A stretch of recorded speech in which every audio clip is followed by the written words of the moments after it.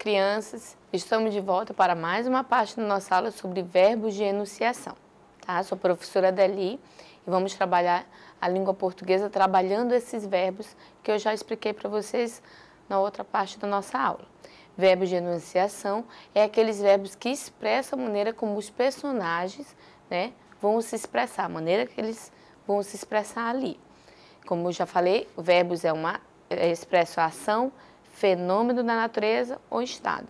E verbos de enunciação, especificamente, eles expressam a maneira como os personagens eles vão fazer isso na história que a gente está né, lendo ou então escrevendo, registrando.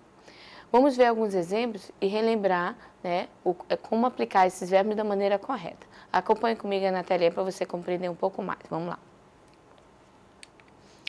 Usos dos verbos de enunciação. Olha o exemplo aí. Ó. Mãe, Posso ir ao cinema com minhas primas? perguntou Soraya. A mãe afirmou: Pode, filha. Obrigada, mãe, exclamou alegre a filha. A que horas vocês vão? indagou a mãe. Ainda não sei, respondeu Soraya. Vou perguntar à prima Ana.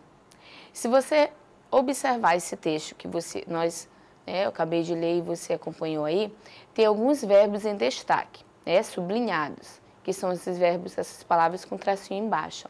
Eles estão sublinhados e esses verbos especificamente são verbos de enunciação. Porque na primeira frase, quando ela fala, mãe, posso ir ao cinema com minhas primas? Ela faz uma pergunta, perguntou Soraya. Indica aí quem fez a pergunta. Tá? O personagem acabou de fazer uma pergunta aí, no caso, Soraya a mãe afirmou. E quando ele fala afirmou, ela diz o que, que ela está afirmando lá embaixo, continuando a fala do personagem. Ó. Pode, filha. Tá? E ela agradeceu, né? Obrigada, mãe. Na quarta frase. Exclamou alegre a filha. Então, está falando o que, que ela exclamou, né? Ela estava alegre. Obrigada, mãe.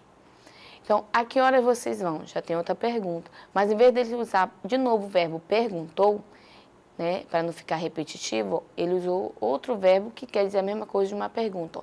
Indagou a mãe. Indagou e perguntou. Tá? Verbos diferentes, embora tenham o mesmo sentido, né? Perguntar. Fazer uma pergunta aí. Ainda não sei, respondeu Soraya. De novo, né, indicando uma resposta aí. Então, vocês estão vendo os verbos de enunciação, como nós podemos é, usá-los em um texto e ou então identificá-los na escrita aí. Esses verbos são fáceis da gente identificar, né, porque eles indicam como a maneira, né, a maneira como os personagens, afinal, vão se expressar, como eu já expliquei. Então, vamos ver alguns conceitos sobre verbo de enunciação para relembrar de novo. Acompanhe na tela de novo, continuando. Vamos lá. Olha só, o uso de verbos de enunciação é essencial para estruturar o texto narrado e atribuir as falas das personagens de forma objetiva, evitando que o leitor se confunda. Contudo, o excesso de verbos de enunciação leva a um texto pausado e repetitivo, com pouca fluidez e dinamismo, principalmente quando não há diversificação na escolha dos verbos de enunciação. Assim, embora o uso dos verbos de enunciação seja essencial, deverá ser de forma, feito de forma moderada. Tá? Como eu fiz, é, eu li com vocês algum exemplo no início da aula, né? Eu não, não é, o verbo perguntou, não fiquei repetindo naquele texto. Então, eu coloquei indagou, que é o mesmo sentido, mas verbo diferente né? Uma palavra diferente. Para a gente não ficar toda hora respondeu, respondeu, respondeu, respondeu, respondeu. Então essas, essas repetições em uma escrita, ou até mesmo num verbo, ou, perdão, num texto que a gente for ler, torna o texto cansativo. Então por isso que a gente tem que ter esse cuidado conforme o conceito que a gente viu aí. Tá? Essas repetições ou exagero de verbos de enunciação numa escrita. Tá? O verbo ele tem que ter essa, essa coerência aí. E outra coisa importante na hora que nós formos escrever, é importante a gente ler e reler. Você leu, fez a escrita e você fazer uma leitura, que você consegue perceber na leitura quando você faz essas repetições de palavras, o que não é legal na escrita. Tá? Quando a gente é avaliado numa redação ou no texto escrito, o educador, a pessoa que está avaliando, ela analisa esse ponto. E esse ponto a gente, a gente perde um pouquinho se a gente fizer essas repetições. Então é por isso que é importante, quando você fizer a escrita, você também fazer uma leitura. Não importa quantas vezes seja necessário, até você perceber que seu texto tá, está da maneira correta, né, de maneira clara e objetiva e sem repetições, para não tornar ele cansativo e perder até o foco da sua mensagem, o que você está registrando ali e quer transmitir para a pessoa que for ler, tá bom? Então, para a gente também concluir também a nossa aula, eu vou dar, fazer mais uns exemplos com vocês aqui agora. Vamos lá? Vamos aqui para o nosso texto.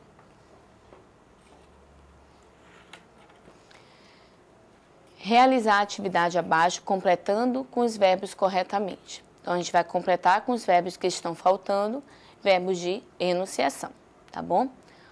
Vamos lá. Depois de passar a tarde inteira jogando futebol, só lembrando que o nosso texto inicia aqui porque é um, é um trecho do texto que a gente está trabalhando, não é o texto completo. Então, eu iniciei aqui, ó. Depois de passarem a tarde inteira jogando futebol, os dois irmãos, Lucas e Pedro, sentaram-se na grama cansados. Então, Pedro, olha só, dois pontos. Posso usar o verbo perguntou. A gente acabou de ver os exemplos, eu posso usar esse verbo aqui, ó. Perguntou dois pontos, né? Indica que ele vai fazer uma pergunta. Olha só. Você está com fome? Tá?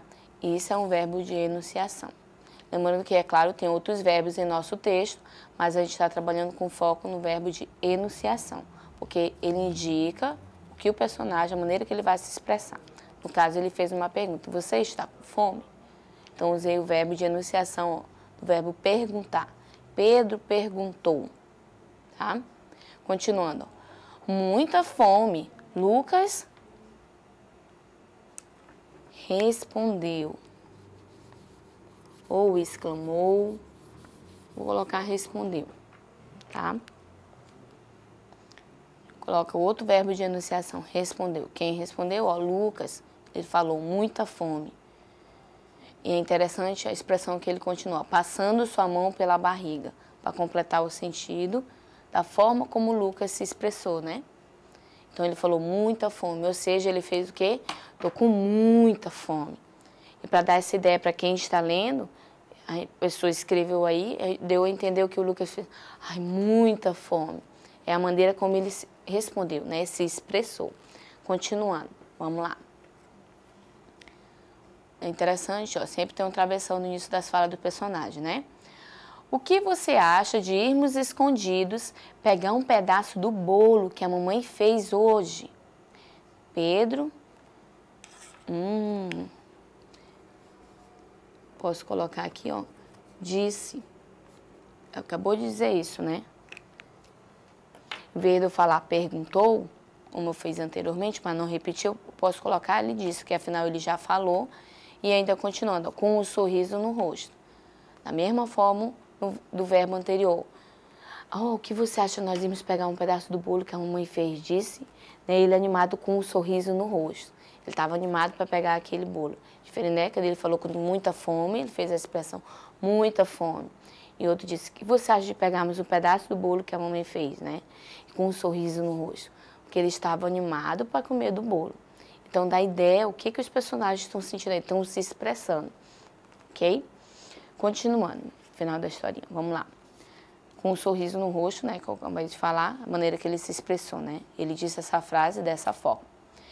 Então, eles se levantaram e correram para a cozinha, tendo cuidado para entrar lá sem fazer barulho. Então, a gente viu aqui no, no texto, nós vimos ó, o verbo perguntou, respondeu e o verbo disse, que são verbos de enunciação. Indica como o personagem vai se expressar. Lembrando, ó, então Pedro perguntou. Indica que o personagem vai fazer uma pergunta aqui. E é interessante, esse respondeu, ele não está com dois pontos, no, como nos exemplos anteriores que nós vimos, né? Está aqui no meio, ó, separado por uma vírgula, que ele fala muita fome, porque indica que ele respondeu passando sua mão pela barriga. A maneira como o personagem aqui, no caso o Lucas, se expressou. Ele estava com muita fome, passando a mão pela barriga. E o que você acha de irmos escondidos pegar um pedaço do bolo que a mamãe fez hoje? Pedro disse, ó, com um sorriso no rosto. Nos dá a ideia também que ele estava empolgado, ele estava animado para comer um pedaço do bolo, tá? E eu não precisei falar que ele perguntou de novo, afinal ele fez uma pergunta, né? Ponto de interrogação aqui.